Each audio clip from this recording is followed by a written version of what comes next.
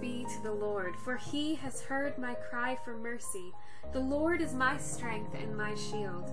My heart trusts in him, and I am helped. My heart leaps for joy, and I will give thanks to him in song. The Lord is the strength of his people, a fortress of salvation for his anointed one. Save your people and bless your inheritance. Be their shepherd and carry them forever.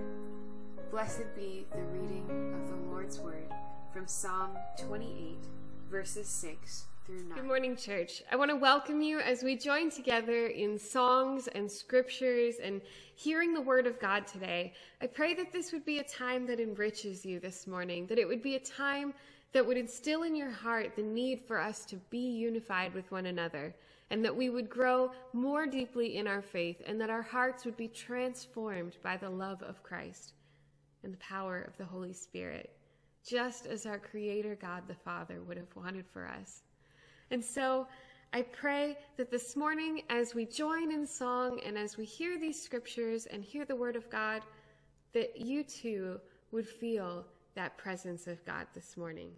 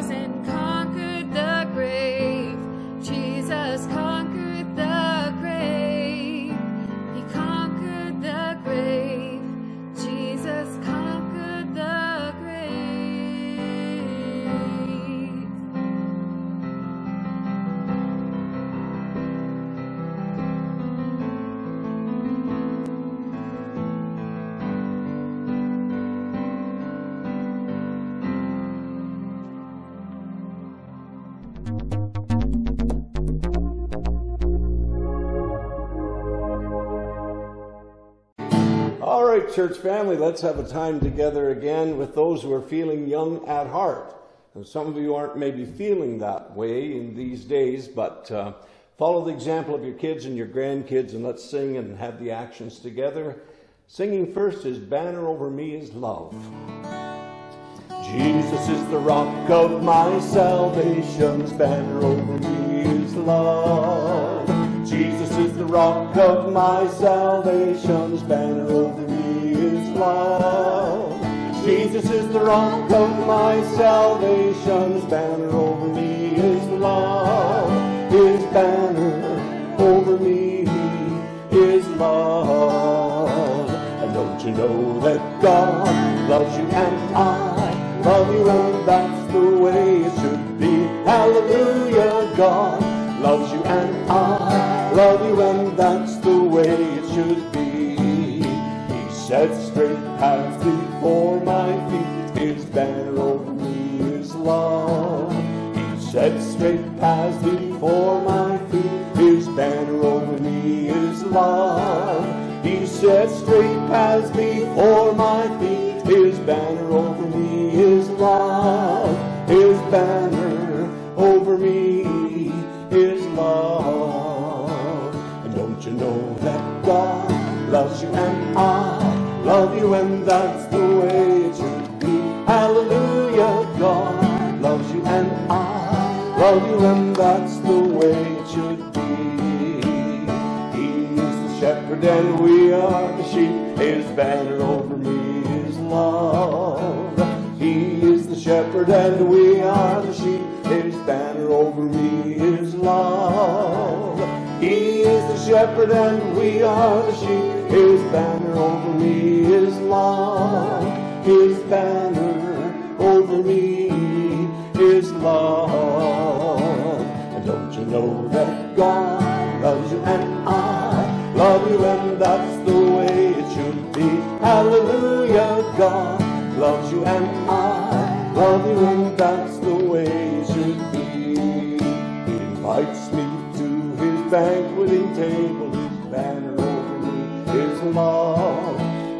invites me to his banqueting table, his banner over me is love.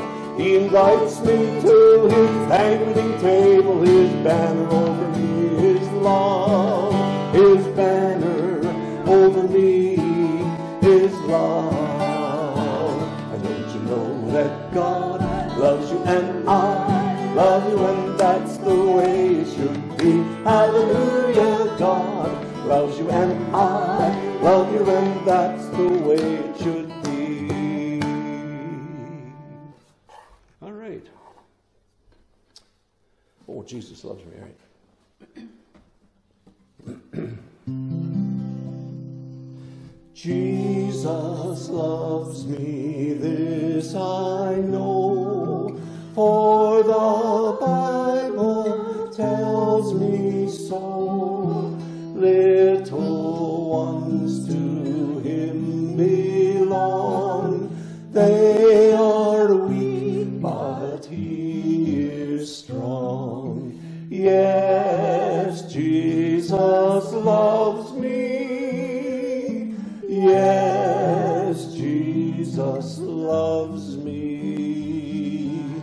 Yes, Jesus loves. The Bible tells me so. Jesus loves me, he who died,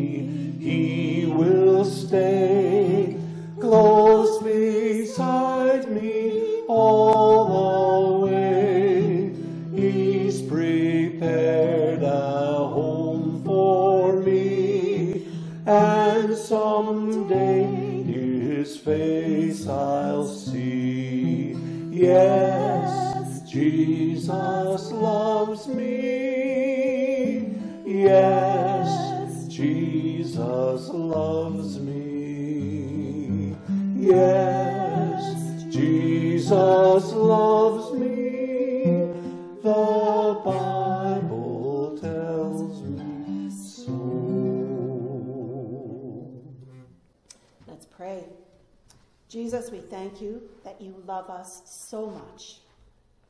I pray that you would help us to learn to love you more each day. Thank you for being our friend. Thank you for saving us from our sins. Thank you for being with us every day. Mm-hmm. Amen. Good morning, and thank you for joining us on this fine Sunday morning. I'm so glad to be able to have each and every one of you with us. Uh, just a few announcements. Uh, if you're interested in being part of one of our life groups, the information is over here on our left, uh, as well as you'll be able to find everything on our website, newingtonwest.ca. Uh, we do have on July 6th a new life group coming up, and that is our open dialogue life group, and that's going to be Monday nights uh, at 7 p.m. And this life group is particularly going to be focusing on how do I have a conversation of importance without worrying about offending someone? How do I have a conversation where the stakes are really high and I can't afford to mess up because it will destroy everything I've been working for? Or how do I how do I display dissatisfaction? There's so many times when we go to talk and our emotions are, you know, just flooding us and we don't know how to say. And so the open dialogue is how do I enter into this conversation and what are the tools that I can use to make sure that I am not just displaying dissatisfaction or I'm not just, you know, saying my frustrations, but I'm actually having a conversation that is going to lead to, to change being done. And so that is our open dialogue. I, I would love to have people join. That's going to be led by myself, and Olivia is going to be joining in uh, for, for some hands on activities at points. And so that is starting July 6th. I would love to have people. If you're interested, please let me know. Uh, you can either email me, you can Facebook me, uh, you can call me. There's no book required. Uh, it's just a great way for us to learn how exactly we can start having crucial conversations and uh, be able to use our dialogue to help progress in relationships and in expressing how it is that we feel. Uh, however, before that, on July 5th, we are going to have a Hallelujah honk. That's right. I, I didn't. Uh, I didn't stutter. A Hallelujah honk. Uh, we are going to be meeting in our cars and we are going to just be praising the Lord together. Uh, we're still working on the details as far as the time and what all that is going to look like, but that is going to be Sunday, July 5th. And so I want you to put that on your calendar. Sunday, July 5th, Hallelujah Honk. Uh, we will be gathering together following restrictions and regulations to be able to worship together on some of the things that the Lord has done this year, some of the things that the Lord is going to do, and just being able to gather together as a fellowship of believers. So we have the new life group starting July 6th, open dialogue, and then we have on July 5th, that Sunday, we are going to be having a hallelujah honk.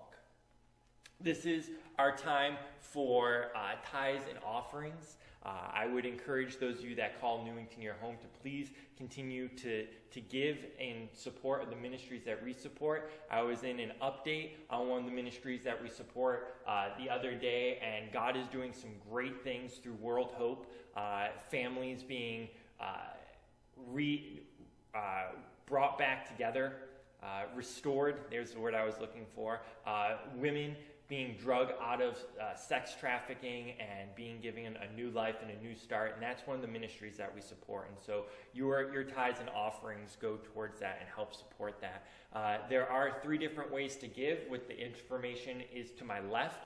Uh, as well, you can find it on our website.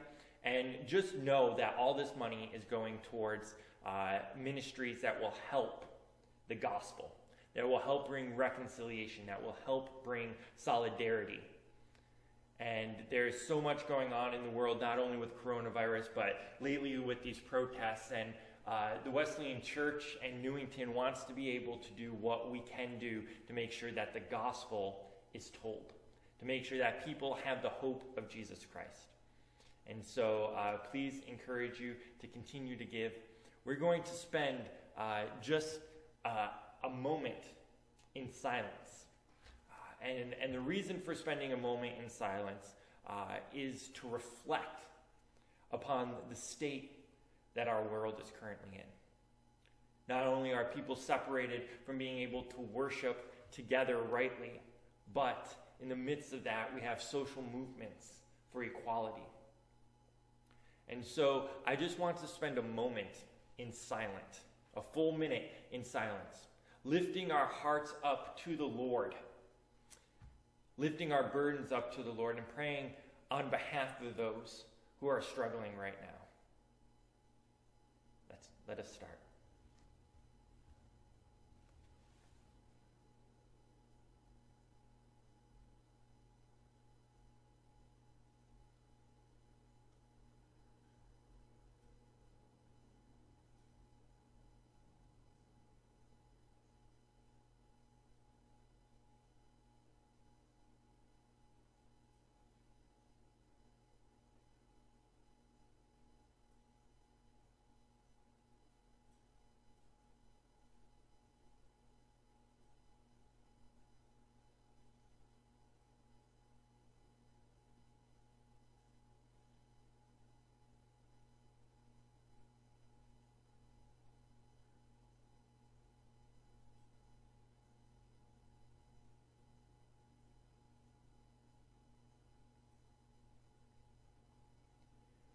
Father God, we know that you are in charge. We know that you care for every creature that you created. We know that you care for every single human that walks this earth because your Son came down on the cross to die on our behalf. Jesus, we pray for your redemptive blood to be transforming in our lives. Holy Spirit, we pray for a moving in this world, for a moving in America, for a moving in Canada, where we react not out of our own thoughts and our own prejudices and our, our own values, Lord, but instead that we will have kingdom values. Holy Spirit, that you will change us so we have kingdom thoughts.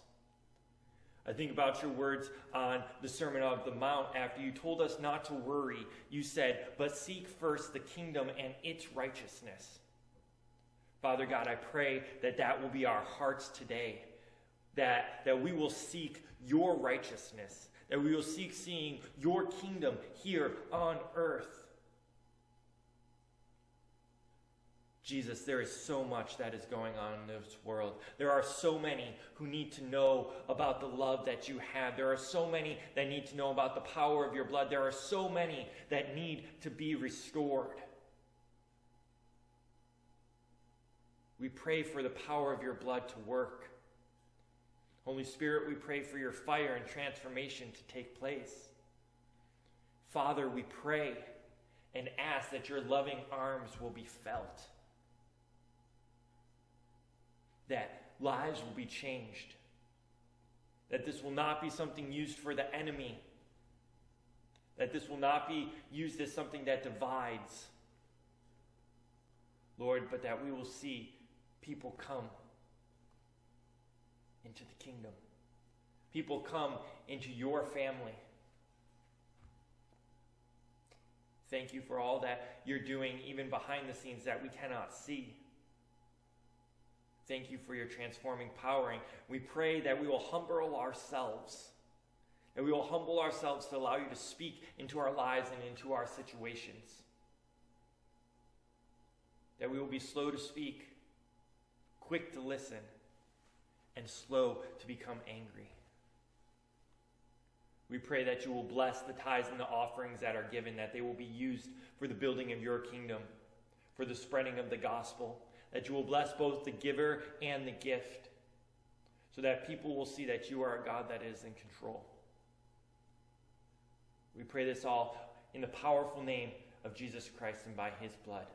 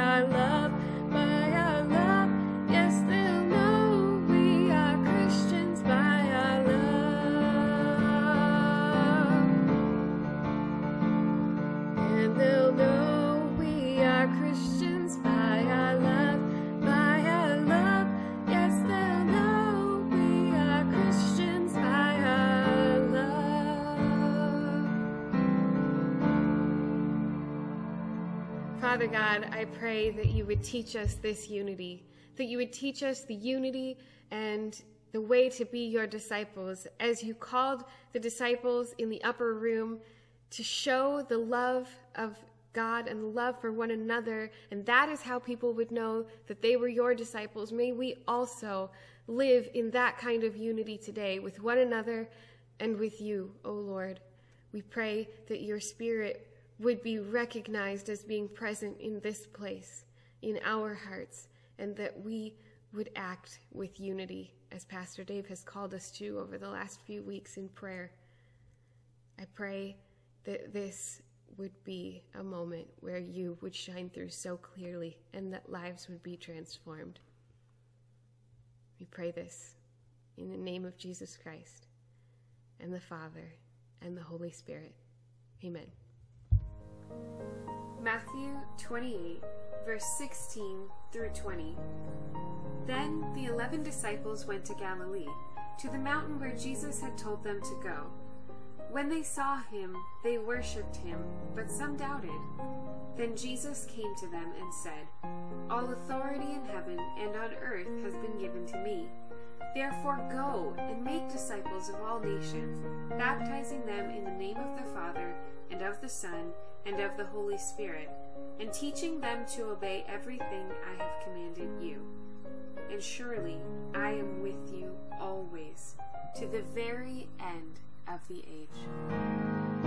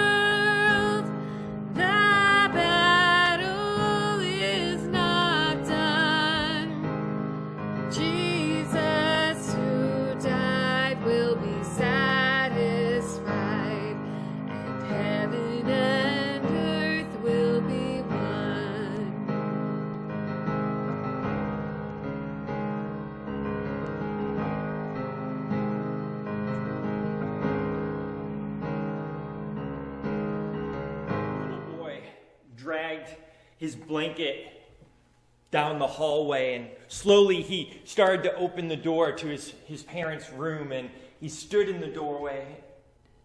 Daddy, Daddy, Dad slowly gets up out of bed. What, what is it? What is it, buddy? There, there's, there's a, there's a monster in my room. Can, can, can you please, can you, can, can you come help me? All right, buddy, I'll, I'll come. And his dad swings his legs out of bed and he scuffles with his son, his hand on his back, down the hallway. And he opens the door and he turns the light on him and he searches under the bed and he pulls the, the curtain out and he looks behind the curtain and he opens the door to the closet and he looks in the closet and he closes it and he says, All right, buddy, there's, there, there's no monsters, you're safe. And he takes his son and he, he tucks him into bed and turning the light out, he goes back. The next night, boy shuffles with his blanket, opens the door. Daddy, Daddy, there's a monster in my room. All right, buddy. Does the same thing, turns on the lights, checks the curtain under the bed door. Buddy, there's no monster. Tucks him in. Goes on. Next night, next night.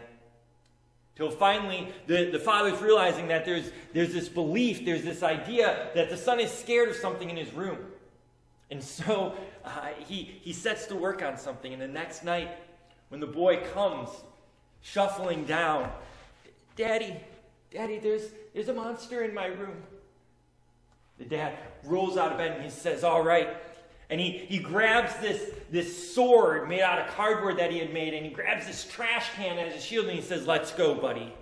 And he walks confidently with his son down the hall, and he opens the door, and he turns on the light, and he says, If there's any monsters in here, I want you to know that you're not bothering my son anymore. And he gets down on his knee and he looks under the bed and he starts stabbing with the sword and swinging. Ah! Ah! Ah! And he gets up and he goes over to the curtain and he ah! Ah! Ah! and he attacks the curtain. And finally, he turns to his son. He says, "I'm going. I'm going to the closet, buddy. I'll be back." And he, he opens the door to the closet and he steps in. And the boy doesn't know what's happening, but he can hear something slashing in the closet. And he can hear, ah, get back, get back, ah. And he closes the door to the closet and he says, All right, buddy, the monsters are gone. And the boy looks up at his dad. And there, there's this expression on his face. And he tucks him in kisses him on his forehead, and then turns off the light. Next night, the boy doesn't come shuffling in the middle of the night to his parents' room to ask to be checked for monsters. See, the boy had in his mind this idea that there was something in his room, there was something under the bed, there was something behind the curtains, there was something in the closet. But when the dad took the action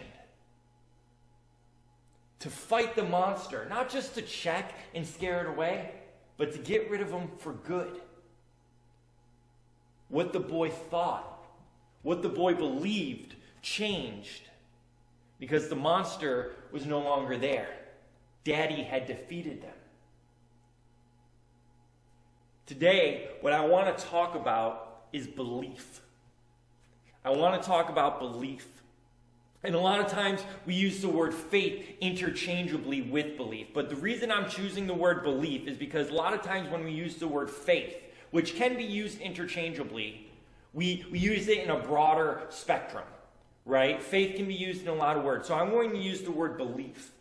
And the scripture that we're going to be reading today is Genesis 15, verses 1 through 11. Genesis chapter 15, verses 1 through 11. After this, the word of the Lord came to Abram in a vision. Do not be afraid, Abram. I am your shield, your very great reward. But Abram said, Sovereign Lord, what can you give me since I remain childless, and the one who will inherit my estate is Eliezer of Damascus? And Abram said, Have you given me no children, so a servant in my household will be my heir?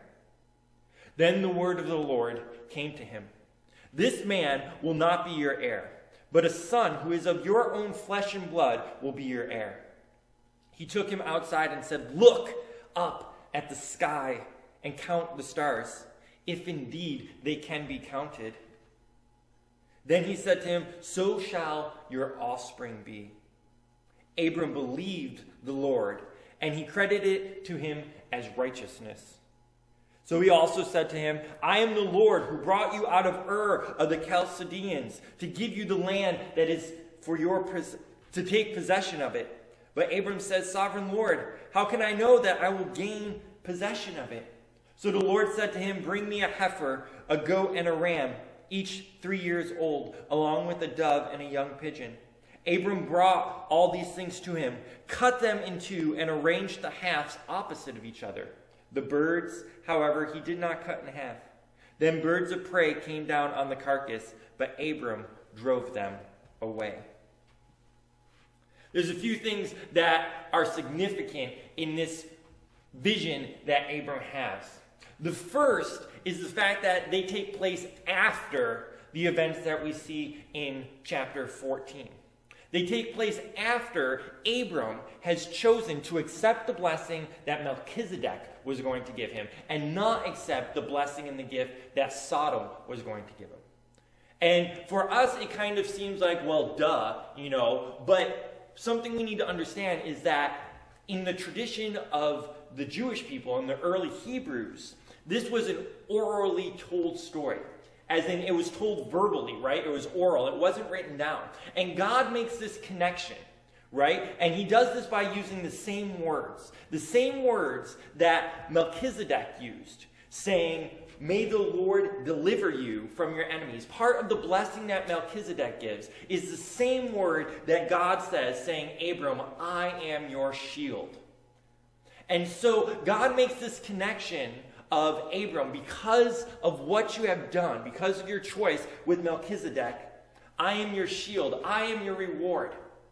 And it, it's so significant in this vision because not only is God greeting him, saying, Look, Abram, I am with you, I am your reward, I am here to bless you. But we also see for the first time in Scripture the use of the words believed, righteousness, and vision. This is the first time in Scripture that we see these three words. And the significant the significance of it is the fact that Abram believes before any proof is given to him other than the fact that God said, I am your reward. Abram says, Look, I don't have an heir. I don't have someone. So, God, I understand you're my, you're my reward, and you said I'm going to be this great nation, but it's going to come through, through this servant that I have. And God says, No, no, it's not. It's going to come from your own flesh and blood.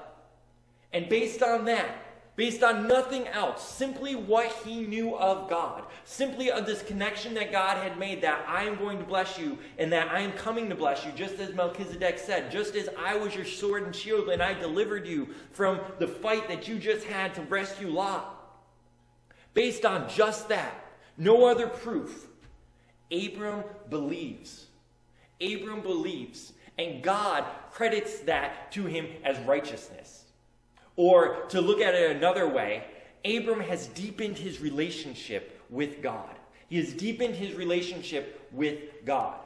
And the first time that we see a vision, the first time that we see a vision, it is not God giving a vision of here's the doom and destruction that's going to happen. Here's, you know, a foresight into all the negative things. But the first time that God interacts with Abram, and Abram replies. Right? This is the first time Abram replies to God. Up till now, he simply acted.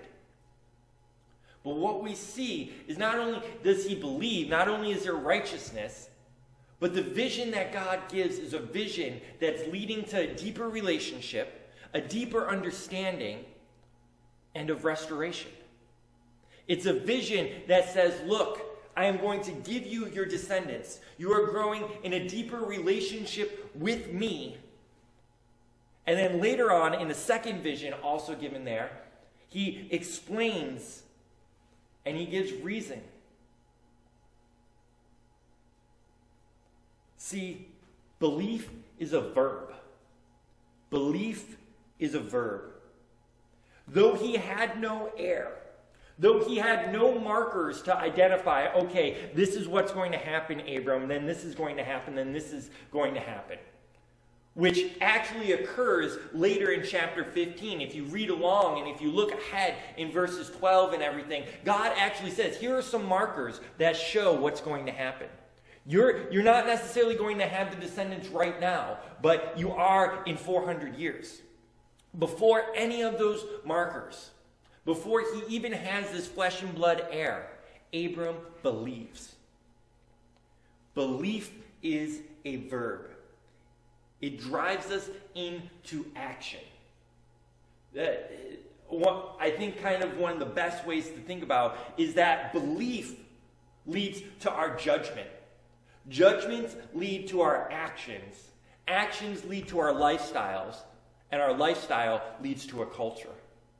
See, Abram believed God. He believed what God was saying. And because of that, he made a judgment that I can trust this God, even though the only things I know about him right now is that he is blessing me and that he protected me when I went to go rescue Lot. That's the extent of what he understands according to what we know. In his first interaction with God, he brings before him, Look, you're blessing me. I can see that.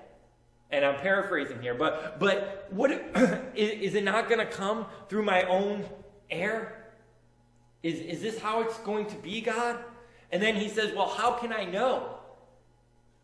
And God does this act, right, in the vision. And he says, Bring me animals.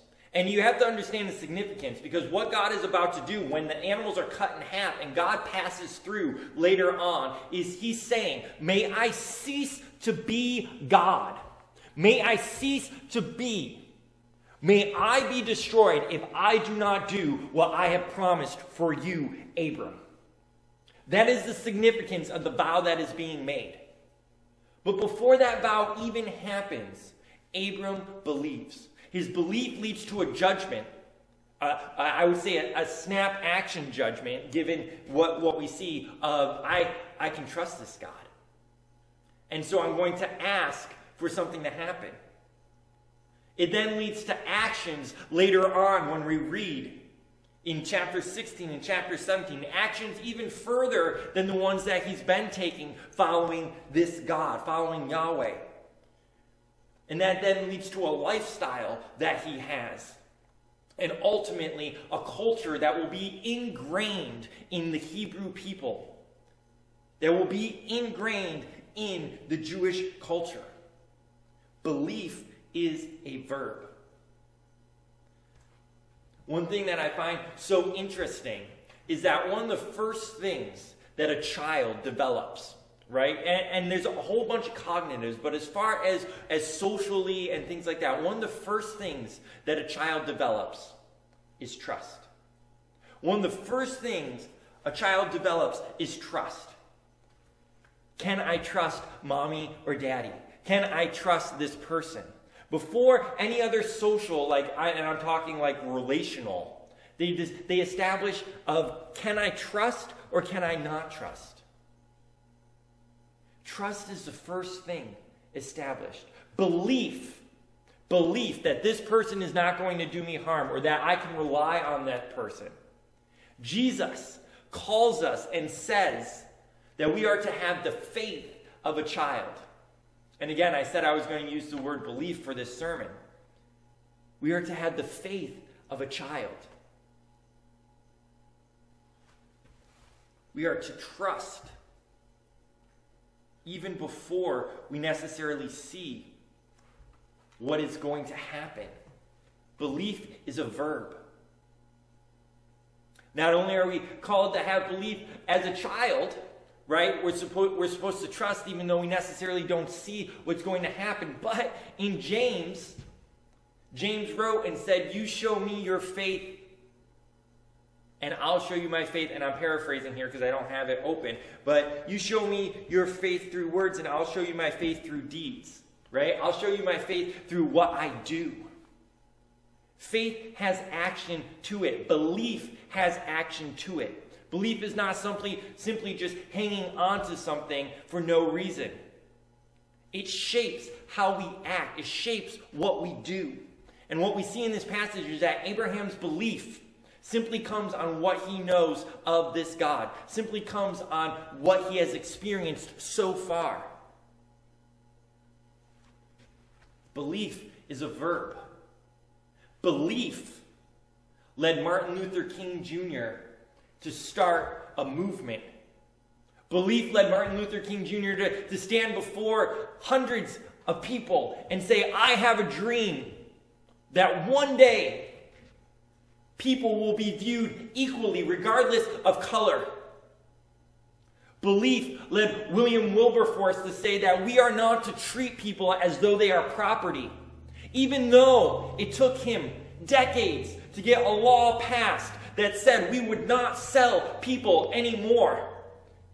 And yet, still today, we see inequality. And still today, we see women being sold, children being sold in sex trafficking.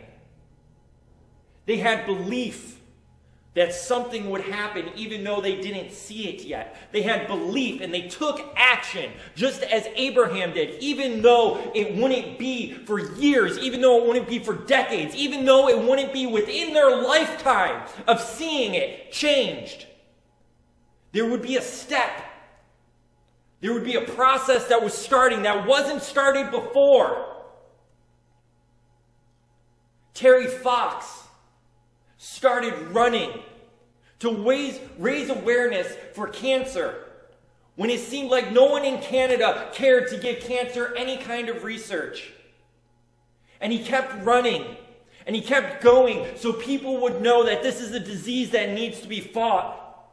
John Humphrey wrote, hoping that people would be treated equally the Universal Declaration of Rights and Freedoms, which has been accepted, if reworded a little bit, by the UN and several other places around the world.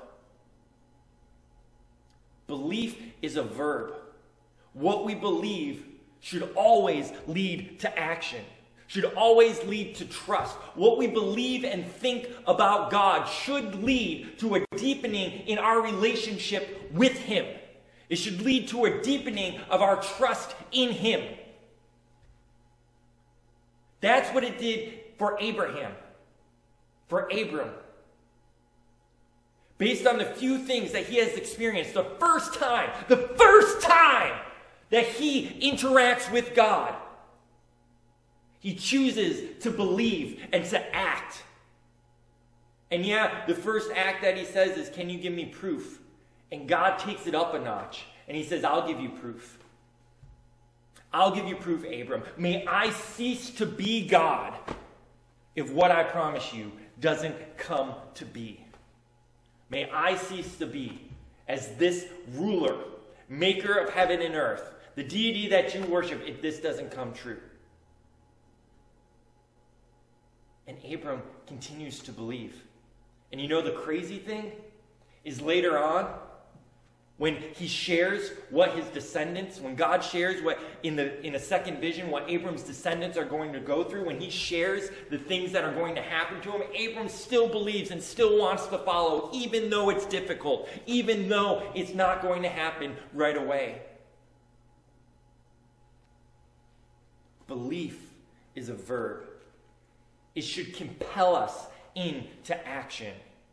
It should compel us, like Abram, to fight off vultures that are coming to interfere with the promise that God has had. And by the way, vultures in a vision means trouble. That, that's one of the meanings of vultures in visions. It means trouble. It means the, those that are going to come and try and destroy and to pick, part, pick things away, pick things apart. And instead, Abram protects the promise. He protects the carcasses that are there because he believes. Belief should is a verb and it should compel us into action. Belief also means, and this is one way of looking at it, is that we're trusting in the yet and not yet. People who have strong belief see what is current, but they also know what is to come, what could be. And so while they're trusting that something will happen here, they know that when God's kingdom comes, they know that when the promise is fulfilled, they know that when finally equality comes, when finally everything happens, it's going to be beautiful. Belief is trusting in the yet, not yet. In the this is what we're seeing here, but this is what it could be. And that's what spurs them on.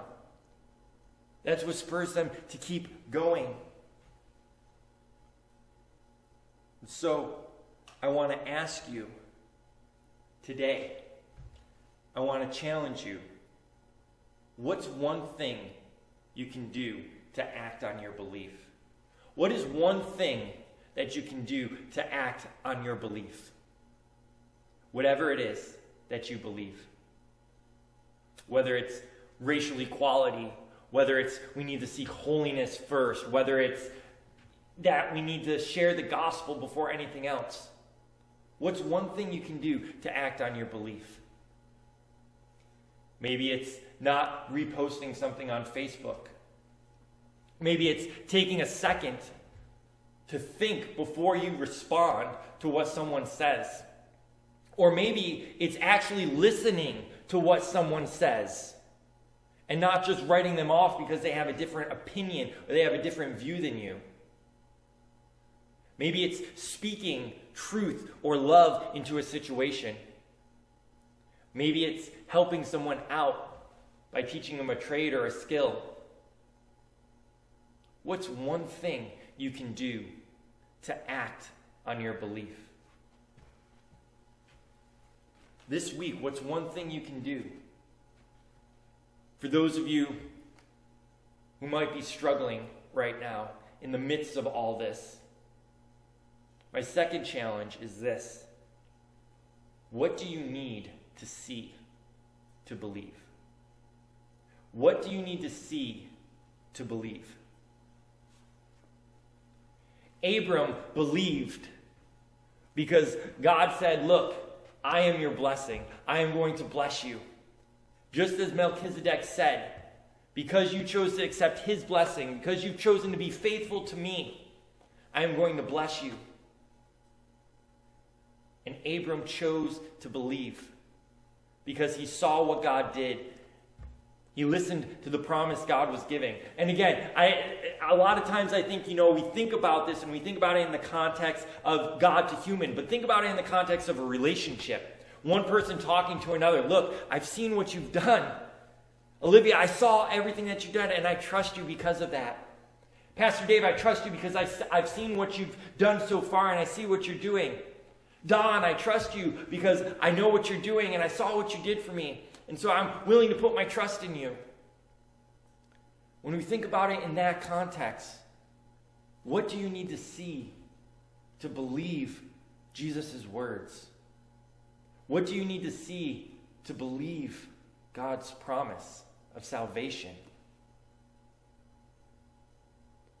My challenge this week, as we look at the fact that belief is a verb, that belief calls us into action,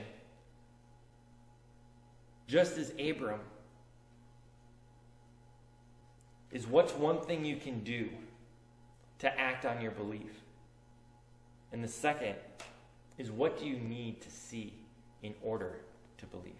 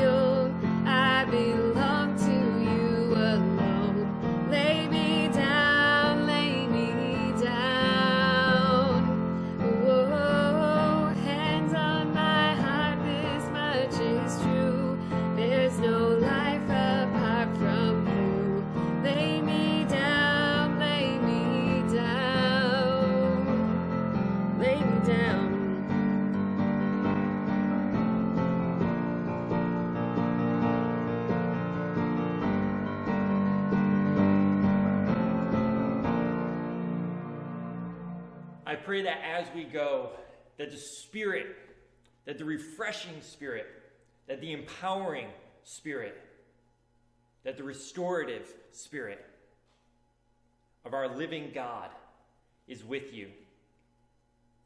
I pray that you will go forth living on what you believe, living on the promises of God, and that we will see lives changed.